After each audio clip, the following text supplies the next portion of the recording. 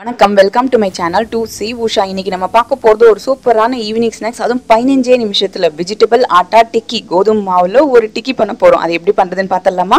அதுக்கு முன்னாடி இது வரைக்கும் நீங்கள் சப்ஸ்கிரைப் பண்ணலன்னா பண்ணிட்டுருங்க பக்கத்தில் இருக்க பெல் ஐக்கானையும் அழுத்தின்றீங்க ஃபஸ்ட்டு கோதுமை மாவு ஒரு டம்ளர் எடுத்துப்போம். அதாவது முந்நூறு எம்எல் பிடிக்கிற டம்ளர் அளவில் சொல்லியிருக்கேன். எடுத்துண்டு ரெண்டு சிட்டிகை உப்பு சேர்த்துப்போம். ஒரு ஸ்பூன் எண்ணெயை சேர்த்துண்டு எல்லாத்தையும் நல்லா கலந்துருவோம் கொஞ்சமாக தண்ணி விட்டுண்டு பிசைஞ்சுன்றலாம். அப்படியே சப்பாத்தி மாவு நீங்கள் எப்படி பிசையுங்களோ அதே மாதிரி நீங்கள் பிசைஞ்சு வச்சுட்டா போதும். இது ஜஸ்ட் அஞ்சு நிமிஷம் ஊற வச்சுப்போம் நம்ம. இந்த அஞ்சு நிமிஷத்தில் நம்ம ஸ்டஃபிங் ரெடி பண்ணிட்டுலாமா நம்ம?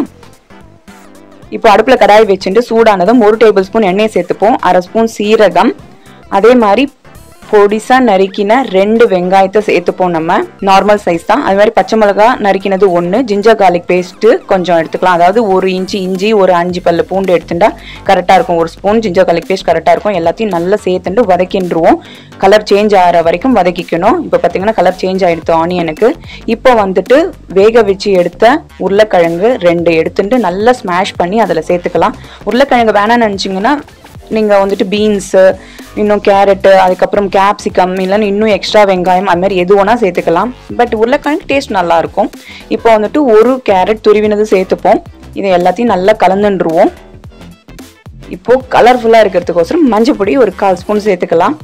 அதுமாதிரி உப்பு வந்துட்டு ஒரு கால் ஸ்பூன் போதும் கரெக்டாக இருக்கும். வேணும்னா ஒரு சிட்டிக்கை வேணால் எக்ஸ்ட்ரா சேர்த்துக்கோங்க. அது மாதிரி காரப்பொடியும் வந்துட்டு ஒரு கால் ஸ்பூன் கரெக்டாக இருக்கும்.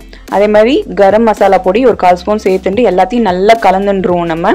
கலந்துண்டு கொஞ்சமாக கொத்தமல்லி தழைகளை சேர்த்துட்டு எல்லாத்தையும் நல்லா கலந்துட வேண்டியது தான் அடுப்பு ஆஃப் பண்ணிட்டு இதை ஆற வச்சுருவோம் ஒரு நிமிஷம் ஆறுனா கரெக்டாக இருக்கும். இதை பார்த்தீங்கன்னா நீங்கள் சப்பாத்தி அந்த மாவு பிசைஞ்சிச்சோம் இல்லையா? அதை சப்பாத்தி பண்ணி இதை கறியாக கூட யூஸ் பண்ணிக்கலாம். இதை வந்துட்டு ஆலு பராட்டாக்கு வந்துட்டு ஸ்டஃபிங்காகவும் யூஸ் பண்ணிக்கலாம். இப்போ இந்த நம்ம பண்ணுற ஈவினிங் டிஷ்ஷுக்கும் யூஸ் பண்ணிக்கலாம். பார்த்தீங்களா த்ரீ இன் ஒன்னு இப்போ வந்துட்டு இந்த மாவு எடுத்து வச்சுருக்கோம் இல்லையா? அது கொஞ்சமாக எடுத்துட்டு நம்ம கையிலேயே நம்ம சொப்பாட்டும் பண்ணிப்போம் நம்ம.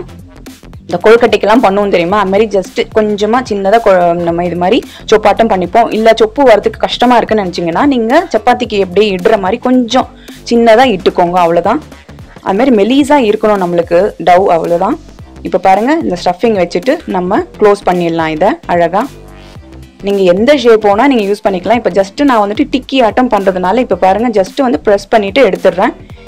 எல்லாத்தையும் அழுத்தின்றலாம் இது ப்ரெஸ் பண்ணிவிட்டேன் அவ்வளோதான் நம்மளுக்கு தேவையான சைஸுக்கு நம்ம டிக்கி ரெடி பண்ணிப்போம் நம்ம. பாருங்க. இது மாதிரி இருக்கும். இது மாதிரி எல்லாத்துக்கும் நம்ம ரெடி பண்ணி வச்சுன்றோம் நம்ம. இப்போ இதுக்கு வந்துட்டு ஷாலோ ஃப்ரை தான் நம்ம பண்ண போகிறோம் தட் இஸ் கடாயில் வந்துட்டு ஒரு ரெண்டே ரெண்டு டேபிள் ஸ்பூன் தான் எண்ணெயை சேர்த்துக்கிறேன். இந்த எண்ணெயும் நம்மளுக்கு எல்லாம் நம்ம எல்லா டிக்கியும் முடிஞ்சதுக்கப்புறம் கூட இந்த எண்ணெய் அப்படியே இருக்கும் நம்மளுக்கு.